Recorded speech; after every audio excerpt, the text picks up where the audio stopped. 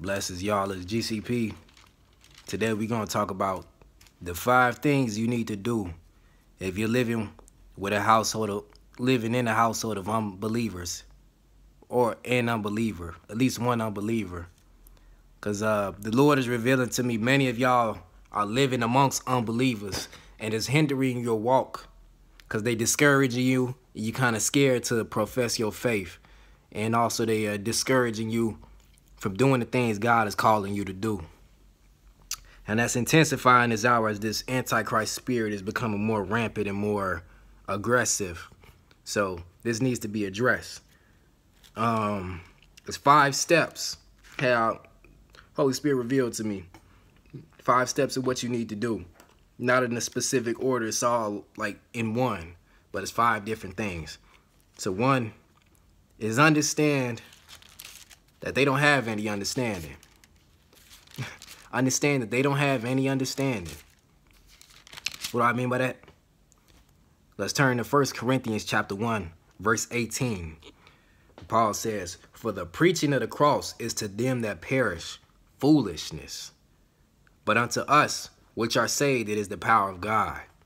So to those who have not gave their life to Christ, who do not see the light, who do not understand that the wages of our sin is death, that we deserve death based off of what we've done in this lifetime, that we need a Savior, that Jesus Christ died on the cross and rose on the third day and ascended to the right hand of the Father. To those who have no understanding of that, the preaching of the cross is foolishness, but we understand it's the power of God. So first off, you have to understand they have no understanding. It's not you know, that we're better than and all that stuff. They don't understand. It's just really that simple. They don't understand.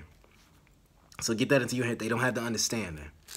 And that'll save you a lot of frustration to even get into these next things. Number two, blood does not make you family.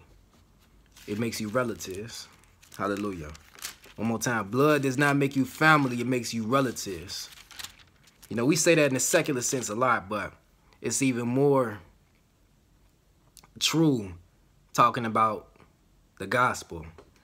Um, if you know, the story we're gonna turn to uh well I'm gonna read it from Matthew chapter 12 but the story is also in uh, Luke chapter 8 where Jesus is preaching in a village. He went throughout every village preach it says in uh, Luke 8 1 he's preaching and showing the glad tidings of the kingdom of God. And the 12 were with him those who are doing the work of God with them. And you could also interpret showing the glad tidings of God, of the kingdom of God, as showing, uh, manifesting the power of God or the gospel or the good news of the kingdom.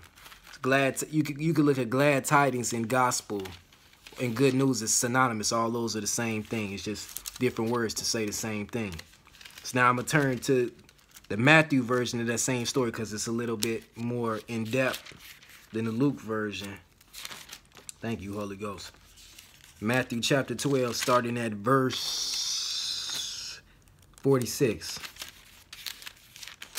where he's preaching and his peoples, his mother and his brothers, they're trying to interrupt him to tell him something, but, you know, nothing is more important than doing the works of God.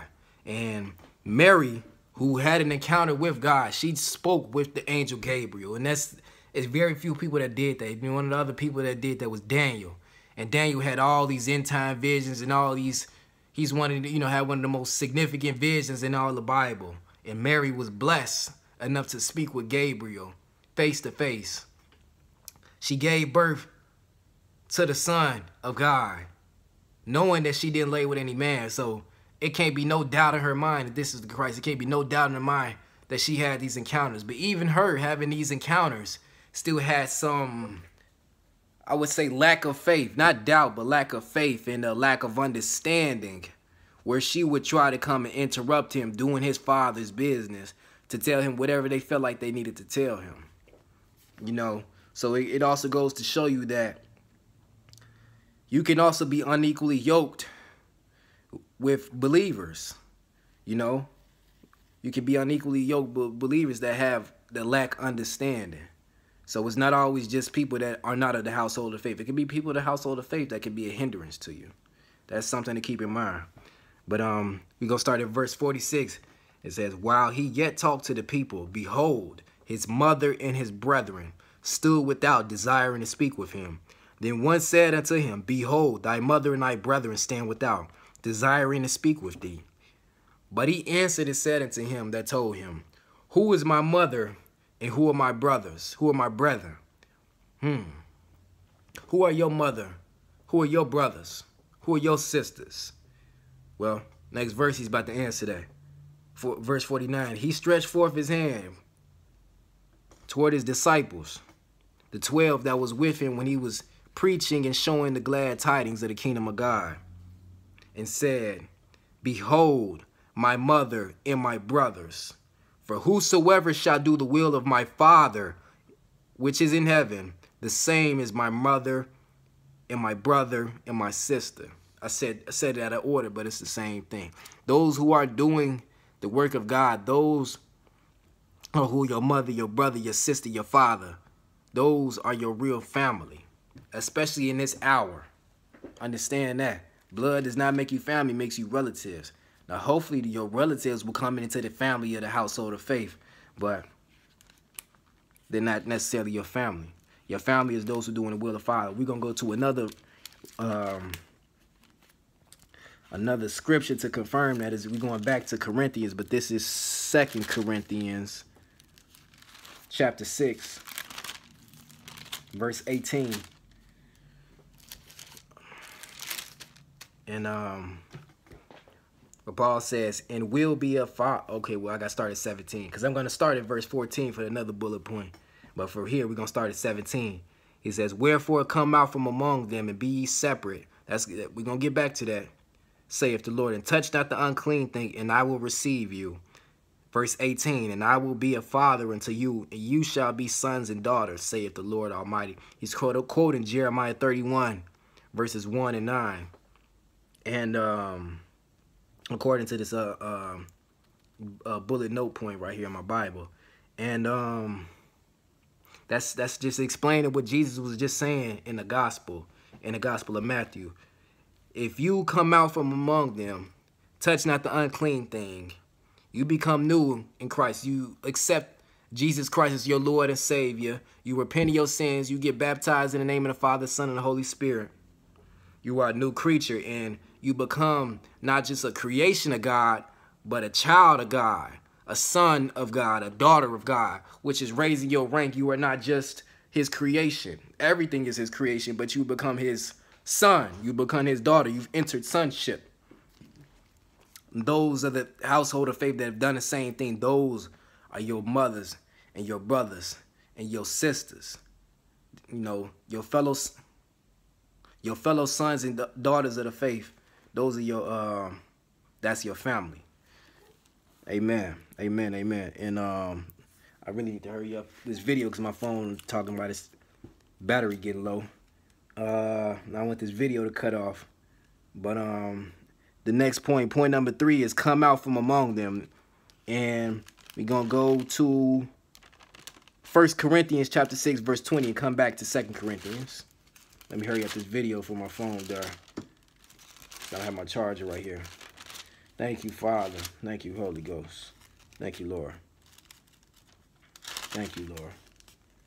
And he says, um, For you are bought with the price.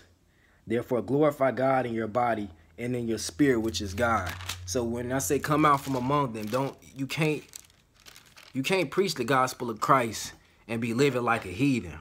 You can't talk about being a chosen people, a, a, a, a peculiar people, but you're living like the Gentiles you have to come out from among it. Otherwise, your testimony is void and and and, and uh, is void and is uh, polluted. It's corrupted.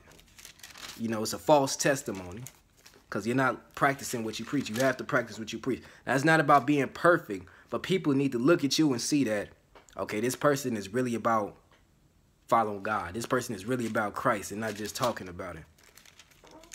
And that's what is giving the modern day church so much discredit, especially the Western church, where a lot of, you know, like to talk about Christ. We like to talk about the gospel, but we ain't living it. We living just like everybody else and worse sometimes. Um, We back in Second Corinthians verse 14 through 17. It says, Be not unequally yoked together with unbelievers, for well, this is actually the point for um, number four too. You know, is really the basis of everything. The Second Corinthians chapter six, verses 14 through 18. It says, Paul says, Be not unequally yoked together with unbelievers. For what fellowship have righteousness with unrighteousness? And what communion have light with darkness? And what concord have Christ with Belial or the devil?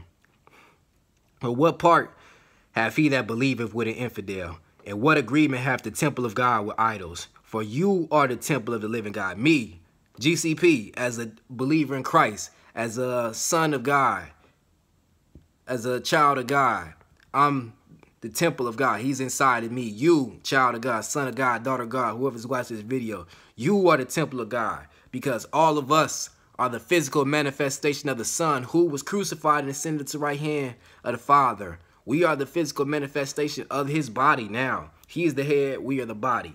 He never, when he left, he never left because we became him on earth. So that's why he said, these works that you'll do in greater because he's in us and we're in him because he's in the Father and the Father is in him. Amen. Thank you, Father.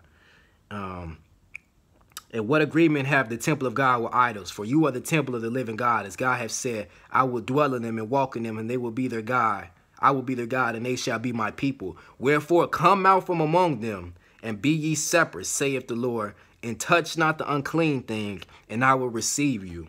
And I will be a father unto you, and ye shall be sons and daughters, saith the Lord Almighty. You got to come out from among them. Otherwise, the testimony of Christ is void. Your testimony is corrupted.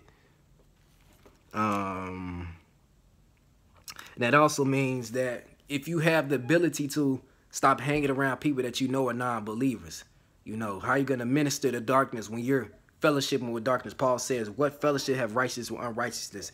If you're spending all this time with people that are walking in darkness, they're going to convert you back to darkness before you convert them to the light. You have to, to convert, you have to reach in and grab them out. You can't grab them out and you're still in there. Understand that. And I've made that mistake many times before, and I'm sure a lot of you have too. You have to step out to step back in, if you understand what I'm saying, to fish them. You can't fish, you can't be a fisher of men if you're in the water yourself. If you drowning yourself, drowning in sin, you got to get out the water and then, you know, throw your net and then you get them out the water. You can't do it if you uh in the water yourself. You know what I'm saying? You got to get out of the that habitation. You got to get out of that environment if possible. Now, if you're in a household of unbelievers where you cannot leave, you're not in a position of authority. You're, for instance, like a wife um, is un under a submission under the authority of her husband, or the child under the authority of their parents.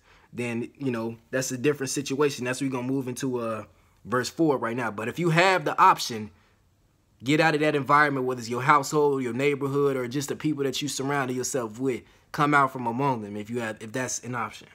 For four,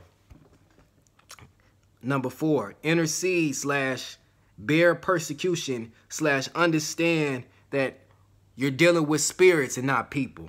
If you're in a situation where you cannot lead the environment, or even if you can, you can still need to intercede for them. But especially if you cannot leave, intercede for these people, pray, fast, because understand that we walk in the flesh, but we're not warring after, after the flesh. The weapons of our warfare are not carnal, but mighty through God to the pulling down of strongholds. You are battling spirits that are targeting you through these non-believers and lukewarm believers because they know they see the light in you. They they recognize the light in you, and they're doing whatever they can to get you off your course of your own destiny and also to get you off the course of interceding from them that they, that they may see the light, that they may come to the household of faith.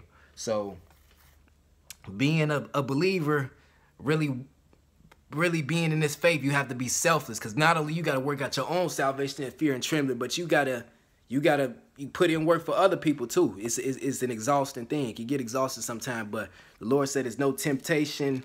It's another scripture you wanted me to point out too because I know some people are already doing this and feeling overwhelmed says, First Corinthians chapter 10, verse 13, he says, There have no temptation taken you but such as is common to man.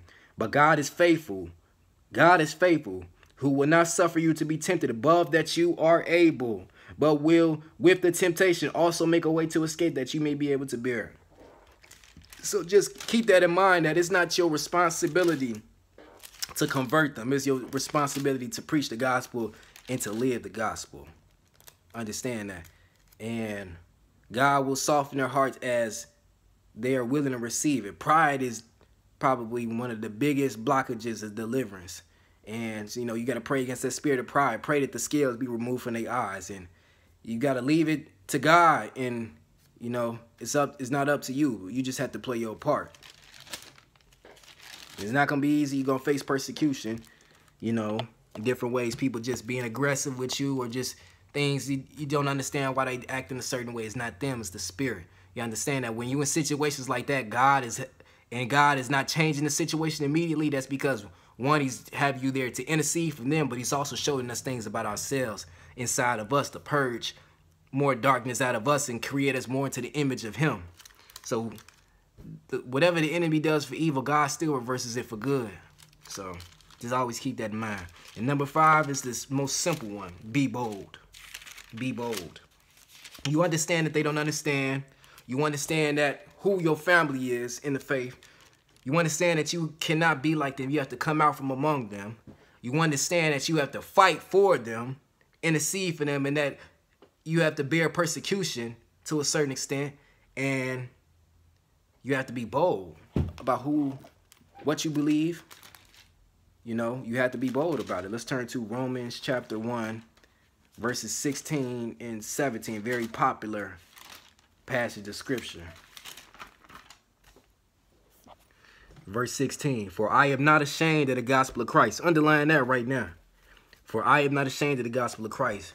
For it is the power of God unto salvation to everyone that believeth, to the Jew first, and also to the Greek. That goes back to uh, 1 Corinthians um, 1 and 18. The first thing we were talking about, that they don't have understanding. But um, um, for those who perish, the preaching of the God of the cross is foolishness. But we under, we are not ashamed of the gospel of Christ, which is the gospel that he died on that cross for our sins and rose on the third day that we may be uh, re, uh, uh, uh, uh, what's the word um, we may be resurrected as well and uh, restored to the Father. That's not foolishness to, uh, to us. We understand it's the power of God unto salvation because we believe.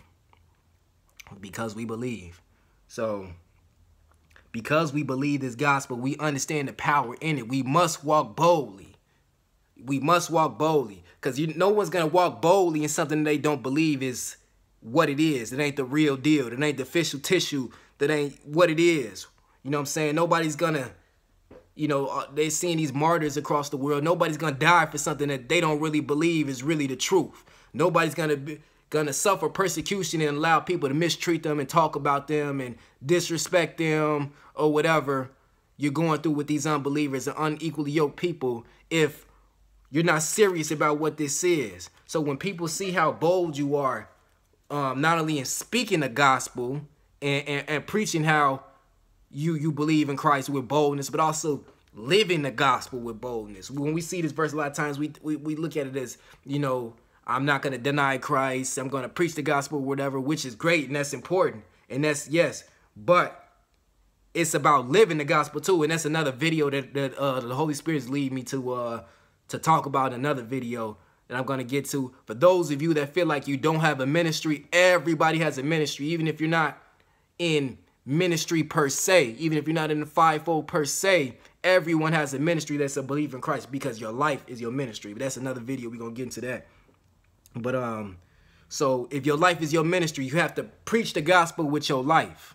Preach it with your life, with boldness. Because nobody is to suffer the persecutions of Christ. No one is going to suffer being an outcast because they're believing Christ. No one is going to suffer these things with boldness if it's nothing to it, if, unless they truly believe in it. So people will, some people be converted just by your boldness. Some people be intrigued just by your boldness, not just with your words, but your actions. We got to preach the gospel with our actions, not just our words.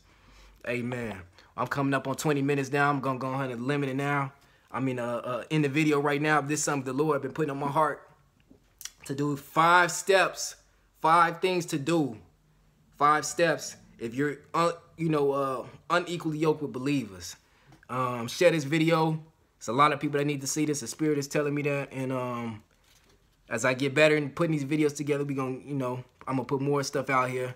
You know, I'm getting better with it, taking the notes this time. And got the got the bullet points. First time with the bullet points. So, you know, y'all pray for me that the Holy Spirit continue to anoint me, anoint me to do what he's put on my heart to do. Amen. So I love y'all. Keep praying for me. I'm praying for y'all. Um, stay focused, but also be encouraged and know that Jesus loves you and he's with you to the end. He's with you now and he's seen the, end from the beginning because he lives outside of time. So just cleave to him, cling to God, talk to him all the time. Understand that he loves you. The understanding that he loves you is more than just saying, you know, Jesus loved me. He died for my sins, all that. Understand that he loves you where he's with you all the time. He has plans for you to prosper. He has plans for an expected end for you. He's trying to guide you in the way that he wants you to go. You know, you have to get that relationship with God. Spend time with him. Spend time with God today. Make sure if you if you haven't time uh struggling, spend time with God. Set a time on your phone. You know, at least once a day. Say I'm gonna spend 20 minutes talking to God. You know, and I'm gonna get into that when I get to my series about prayer. But like I said, just continue to pray for me and um you know, I, am I'm, I'm preaching the choir too. You know, I got to do better myself. But uh, I just pray that God continue to anoint me to get better with these videos and teachings and give me understanding for myself as well, not just for you guys, but to better myself. And we all in this thing together. We're all brothers and sisters in the faith, as we were just reading in the scripture. And let's continue to walk in the ways of Christ and let the light be shone, shown through us that others may become house uh, members of the household of faith as well. In Jesus' name. I love y'all. God bless y'all. Have a blessed day. Service signing out.